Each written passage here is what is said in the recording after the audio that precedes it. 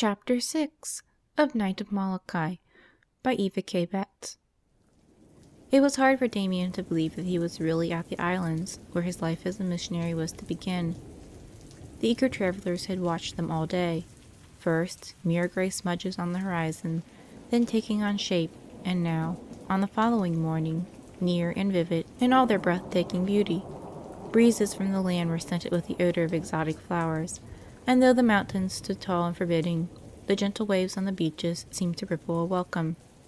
"You will be glad to land, I'm sure," said Captain Gherkin to Damien. "But I must warn you, you'll find walking a little difficult for a while." "Why should that be?" Damien asked. "Because you have sea legs now. You're accustomed to a rolling and pitching deck." "Ah, but that will not make it hard when I'm on firm, stable land." "Wait and see," the captain laughed. "You'll walk as if you had drunk too much schnapps. I know. I've seen it." "Won't you do the same?" "No. Sailors develop a sort of rolling gait that keeps them steady, whether afloat or ashore. It's not pretty, but it's safe." The wharf on which the missionaries debarked was filled with interested Hawaiians or Kanakas. Tall, gentle, handsome people, they watched with fascination as the six white robed missionaries and the ten nuns came down the gangplank. These natives were a kindly group, but found it difficult not to laugh aloud at the picture they saw, for to the people who had lived so long aboard the Wood, the wharf and the ground beyond it seemed strangely wavering, and their own steps wavered to match. "This is the oddest sensation." Damien was torn between amusement and annoyance. "I know that the ground can't be moving, but I feel as if it were surging up to meet my foot, or else plunging away from me." He glanced at the nuns, trying to be dignified, but walking for all the world as if they were tipsy. He had no trouble choking back a chuckle, for just at that moment he himself reeled and staggered. "What a way to enter my new missionary land!" he thought. But he was not yet ready to start his apostolate. On the vigil of Easter he received the subdiaconate, a further step toward the priesthood, and was sent to college at Ahuimanu for a final study period of two months before ordination. In May 1864 Sherman had begun his march to the sea. Japan and France signed a pact of friendship. Italy, Brazil, and Spain discussed the possibility of undersea telegraph lines to America, and on May 21 Damien received holy orders. Now and forever he would be Father Damien. Almost at once he and Father Clement, ordained on the same day as Damien, were assigned to work on Hawaii, the largest island of the group. He could hardly wait to start on his missionary life. "I wish I knew more of the language," he said to himself and had had more time to talk with older men who have been in the field for years. He paced the garden walk, his mind churning, trying to leap from the quiet place in which he was to the yet unseen and unknown parish to which he would soon go. "I hope I have plenty of work to do," he mused. "I like to work, and in such a cause." The thought remained unfinished as a wave of joy and gratitude swept over him. He, Joseph de Veuster of Chemuleu, was now an ordained priest in the mission service. He wondered if the natives would like him, wondered not for any reason of self conceit, but because he knew that if they liked him they would listen to him. He burned with zeal for the opportunity to tell these pagan children of God about their Father and Saviour and about His Church. Along with Father Clement, who had been ordained at the same time, he was to be stationed on the island of Hawaii. The bishop, now making the pastoral rounds of his island diocese, would take them with him to their stations. One hot June night, therefore, the three embarked on a little ship. The first stop was the island of Maui, where three priests were stationed. "I wish I could stay longer with those three veteran missionaries," said Father Damien, as the party returned to the ship. "There is so much they could teach me." "You are young," replied the bishop, "but so were they once." "I have studied my theology," Damien went on, "but I know little about how to teach these pagans. How to "There is the boat whistle," the bishop interrupted. "Let us hurry. The captain will not wait."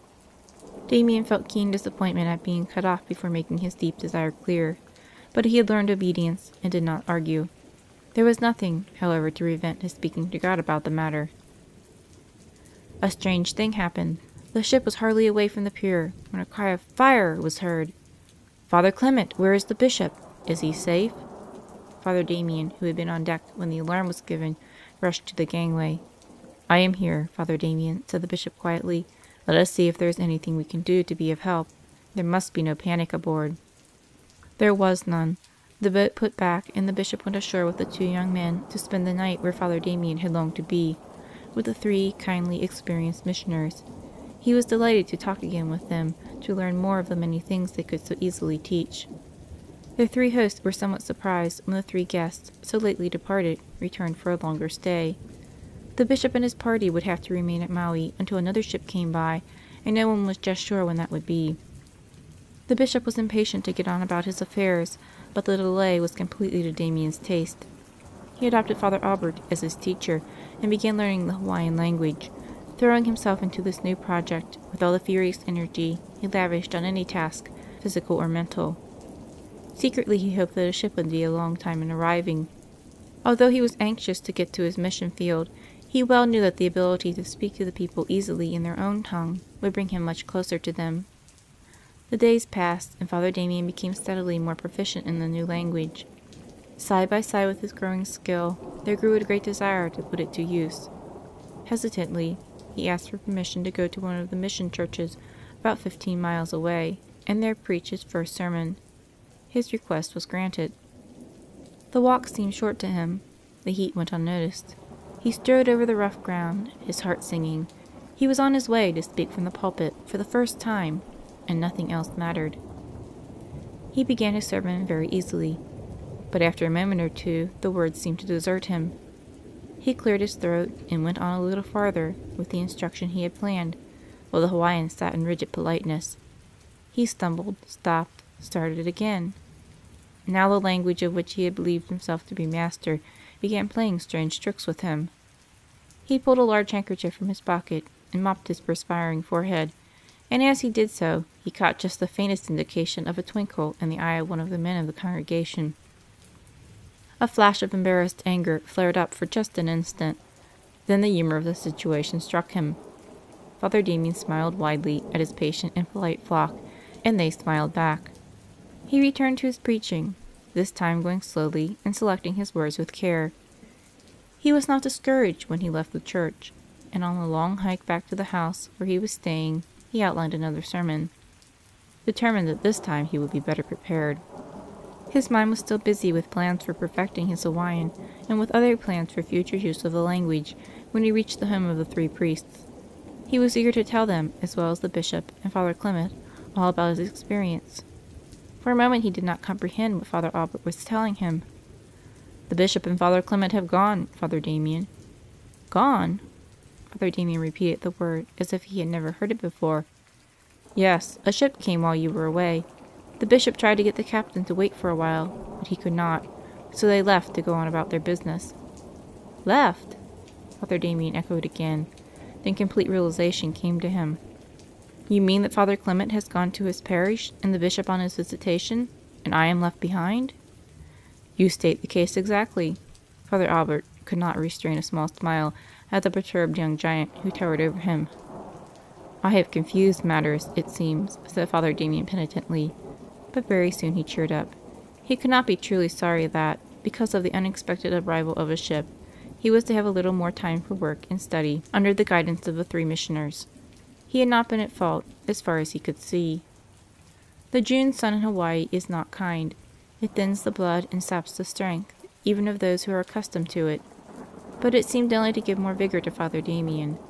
Tirelessly, morning, noon, and night, he strode about the island working among the people.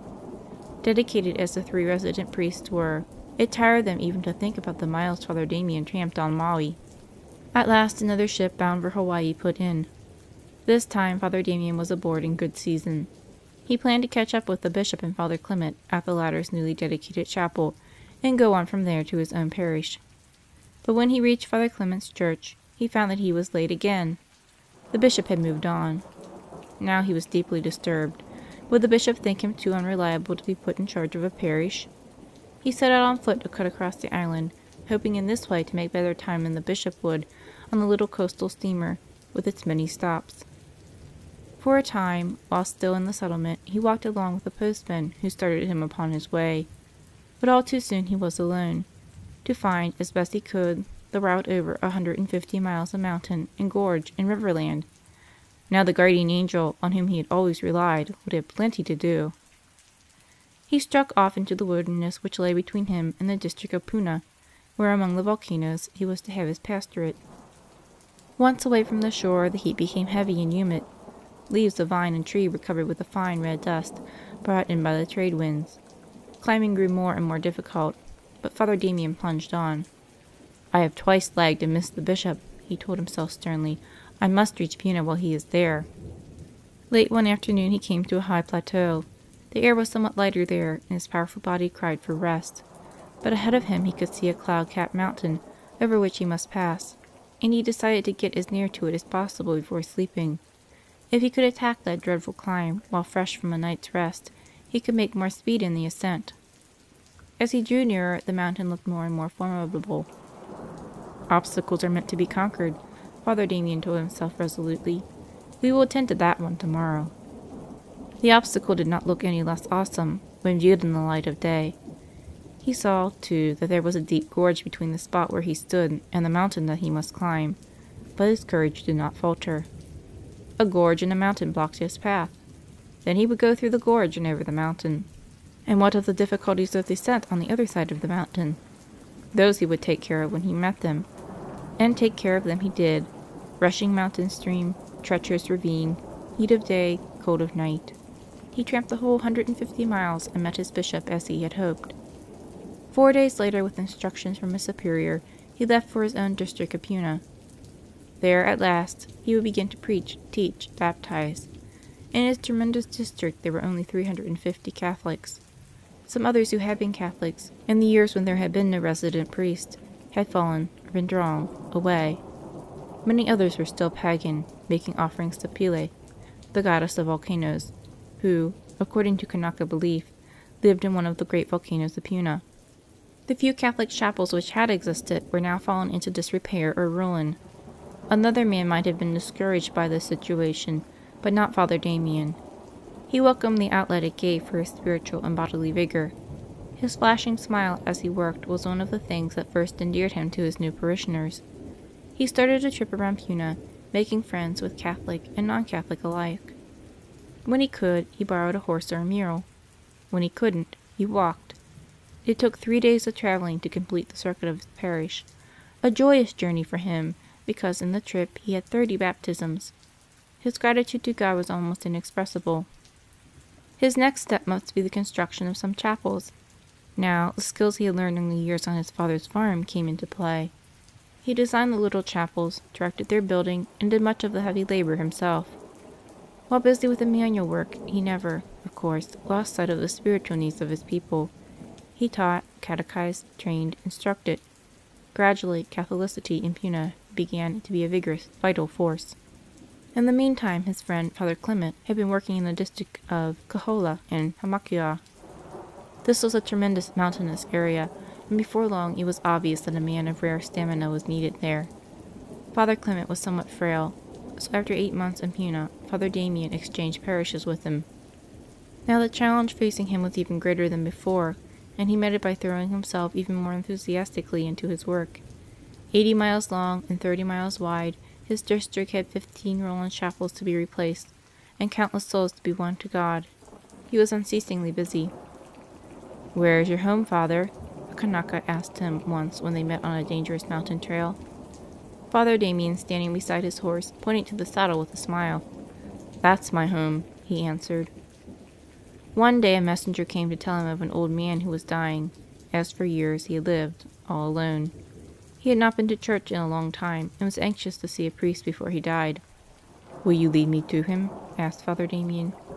I will go part of the way, Father, and direct you how to go the remainder of the trip. Father Damien mounted his horse and started off through the jungle. He and his guide saw little animal life, but from the crackling of twigs and rustling of leaves in the bushes and vines on either side of them, they knew that bright eyes were watching and noting them. Now I must leave you, Kamiano, said the Kanaka. You will stay on this path until you reach the top of that mountain. The cabin is there. With thanks to the man, Father Damien went off alone. The sun was now directly overhead, and the steam in the air made breathing difficult. The horse was tiring. Come on, old friend, said the priest encouragingly. You can't quit now. We must get to that poor sick man before he goes to meet his Maker. The horse seemed to respond to his tone, and for a while went more swiftly. But the trail grew steeper.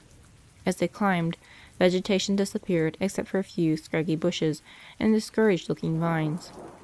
Father Damien's mount had to pick its way carefully between sharp rocks where a rolling stone might spell disaster for both animal and rider.